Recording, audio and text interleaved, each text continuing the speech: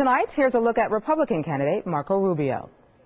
39-year-old Marco Rubio is living the American dream. He's a smart, charismatic attorney who's married to a former Dolphins cheerleader and has four kids. He also happens to be running for U.S. Senate. I'm grateful too to my parents who as a young man Rubio is one of four children born to Cuban immigrants. His parents came to this country in 1959. Marco was born in Miami. Growing up in a Cuban household is like a uh, family-wide endeavor. I mean, you're not just being raised by your parents, it's your grandparents, your aunts, your uncles, your cousins. His father got a job bartending in Las Vegas, so the Rubio family packed up and moved to Nevada when Marco was eight. His mother also worked as a hotel housekeeper. He says his parents sacrificed everything to give their family a better life, something he refuses to forget. We weren't rich, we weren't privileged. You know, my parents were working class and sometimes worked two jobs.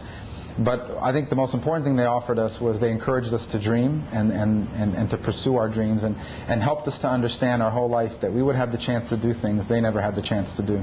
The family would ultimately move back to Miami in 1985. Rubio attended South Miami High School, went on to the University of Florida, and then to law school at UM, where he graduated cum laude. Rubio went on to represent West Miami, but made a name for himself as Speaker of the House in 2006. In May of 2009, Rubio announced his plans to run for the U.S. Senate seat vacated by Mel Martinez. Many believed he could never get the Republican nomination from the popular governor.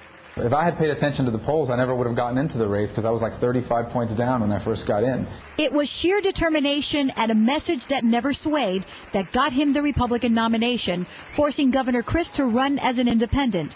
Uh, this race is about the future of our country and, and, and what I hope would be a, a competition of competing views and visions about America's future. Rubio, who lost his father just over a month ago, refers to him often as his inspiration and feels at peace knowing that he would be proud regardless regardless of the outcome. The important thing for my dad was not the profession that I chose, but the fact that I got to do what I loved uh, for a living and for my life, and that, that I got an opportunity to pursue my dreams and hopes, things he wasn't able to do. I think that's what would have made him proud. Would a future run for the White House be in the cards as well?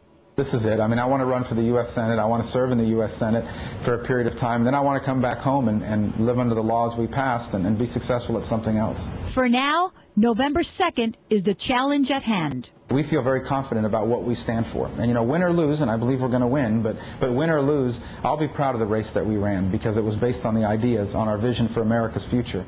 Marco Rubio got bitten by the political bug when he interned for Representative Ileana Ros-Lehtinen and Lincoln Diaz-Balart.